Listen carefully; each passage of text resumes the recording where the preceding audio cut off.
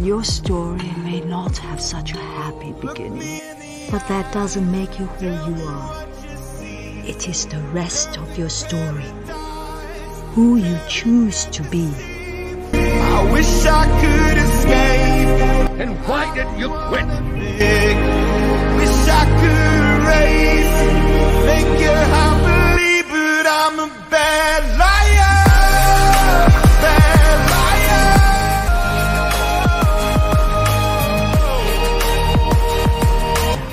Yesterday is history.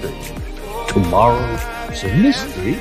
But today is a gift. That is why it is called the present.